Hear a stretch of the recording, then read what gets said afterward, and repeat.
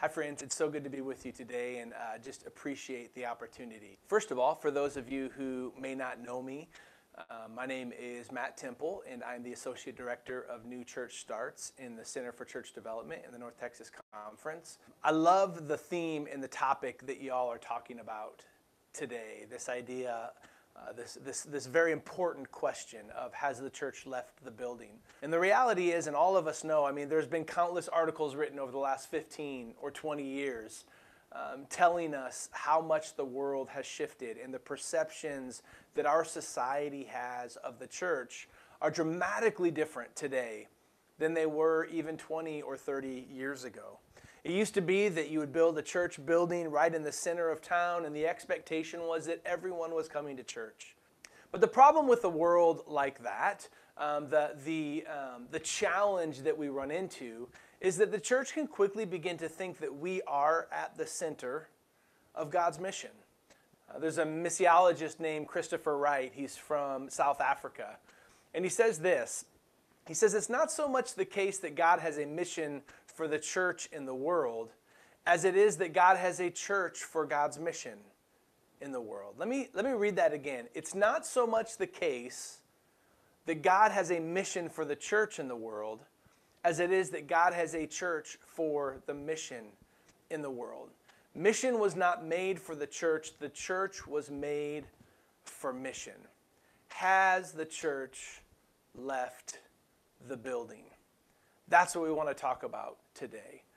But here's the problem change is hard for us. Change is hard for all humanity. We want consistency. We want predictability. It's part of our survival instinct to, to, to have something that we um, get that gives us the illusion that we're in control.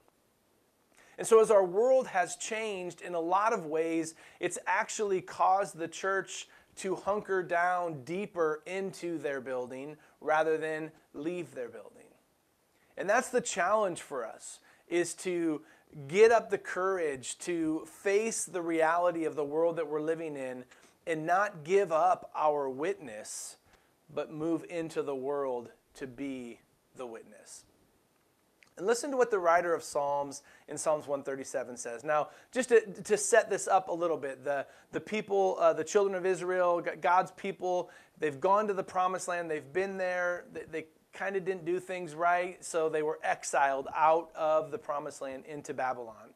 And that's where this psalm takes place is, is the people of God have been taken out of their homeland and they're now living in exile, right? They've gone from being the center of society to being on the outskirts of society. They've, they've gone from being a respected people to a captive people. And, and, and with that has come a lot of fear and a lot of anxiety.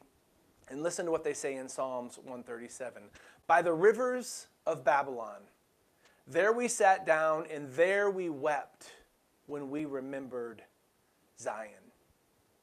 On the willows, there we hung up our harps for there our captors asked us for songs, and our tormentors asked us for mirth, saying, Sing us the songs of Zion. But how could we sing the Lord's song in a foreign land?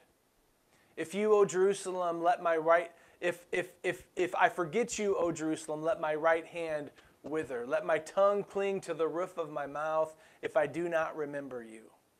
If I do not set Jerusalem above my highest joy, Remember, O Lord, against the Edomites the day that Jerusalem fell, how they said, Tear it down, tear it down, down to its foundations. O daughter Babylon, you devastator. Happy shall they be who pay you back what you have done to us. Happy shall they be who take your little ones and dash them against the rocks.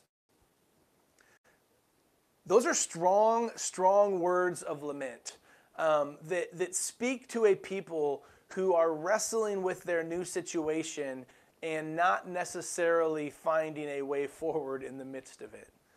Right? They're, they're, they're thinking back on Zion. They're, they're remembering the good old days, the way it used to be, the songs we used to sing, the ways we used to do things.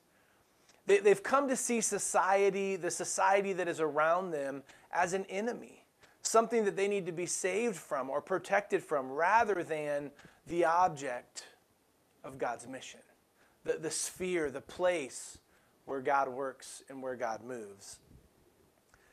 And you can see within it that the people in Babylon are spiritually hungry. It's just different than the way it used to be. But they're saying in this text, Sing us some of your songs. And the people refuse to bear witness because they haven't figured out, as Lesslie Newbigin says, how to bear witness to the gospel from a position not of strength, but of weakness. Has the church left the building? Now, God responds to this lament actually in Jeremiah 29. God responds to the people who are singing this lament. And we know Jeremiah 29 because of Jeremiah 29 11. But if you go back further, earlier in the chapter, verses 4 through 9, you begin to see what God's telling them and how God's challenging them to change their posture and their attitude about the world around them. Listen to what God says in Jeremiah 29. The Lord of heavenly forces, the God of Israel, proclaims to all the exiles whom I have sent from Jerusalem to Babylon. Interesting. I've sent you. You are exactly where you're supposed to be right now in this moment of time. This moment is what you were made for. This moment is what I have called you to. This moment has not taken me by surprise. And this is what God says to them Build houses and settle down. Cultivate gardens and eat what they produce get married and have children, and then help your sons find wives and your daughters find husbands in order that they too may have children. Increase in number there. You don't have to decrease in number there. You can increase in number there so that you don't dwindle away. Promote the welfare of the city to which I have sent you into exile. Pray to the Lord for it because your future depends on its welfare. The Lord of heavenly forces, the God of Israel proclaims, Don't let the prophets and diviners in your midst mislead you. Don't pay attention to their dreams. They are prophesying lies to you in my name. I didn't send them, declares the Lord. So basically, God's saying, y'all are, are, are, sort of hunkered down in these enclaves in the outside of the city. I want you to go into the city. I want you to build houses. I want you to find jobs. I want you to plant gardens. I want you to get married. I want you to have children. I want you to thrive in this new environment. You don't have to decrease, you can increase. And it's, it's, it's shifting our posture and this is what I want to close with it's shifting our posture from being the host to being the guest. What does it look like for you to be a guest in your community? What does it look like for you to identify places in your neighborhood where people already gather, where people are already uh, investing their time and building relationships and, and go join a group and go jo- or join a pottery class or go join a, a, dance class or go be, be a part of something, a committee within your, your community and begin to build some relationships there and to seek the welfare of the city. What would it look like for you to leave your Bible studies or leave your Sunday school classes or leave your small groups and move outside of the church to begin to build some relationships with your neighbors? Maybe a, a, a, progressive dinner where you start with the first course at one person's house and move house to house and eat different courses of the meal together, what would it look like for you to begin to intentionally engage the people around you? A theology of guesting instead of hosting, where you're not looking to invite people to something, but you're looking to be invited to something.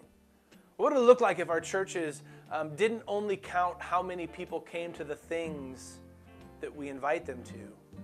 But also counted how many times the people in our churches are actually invited to things because they've begun to build relationships with people outside of their church and they're now being invited into people's lives to do life with them, to have conversations with them, to be a part of, of, of the community with them.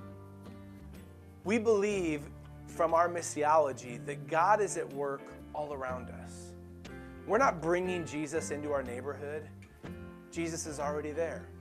Our job is to leave the building, go into those spaces, and bear witness to the good news in those places. Wesley speaks to this in his sermon on the omnipotence of God, where he says, But allowing that God is here, as in every place, that he is about our bed and about our path, that, that he besets us behind and before and lays his hand upon us, what inference should we draw from hence? What use should we make of this awful consideration? What's the consideration? The God's at work all around us, outside of our buildings. Is it not meet and right to humble ourselves before God's majesty? Should we not labor continually to acknowledge God's presence? Friends, God is at work all around you, in your neighborhood, in your community, outside the walls of your church, because the world is the realm of God's mission, not the church. And our job is to labor continually to muster up the courage to stand up out of our comfortable places, our, our comfortable spaces, and move out into the world, move out into our society, move out into the neighborhood, and bear witness to the good news that's there. I'm praying for you all as you uh, have conversations today, as you talk through what this looks like. Uh, and my prayer is that uh, we will continually grow in our capacity as a church in North Texas to leave the building, to become guests in our community, and to bear witness to the gospel there. Thank you so much for letting me share. It's been great being with you.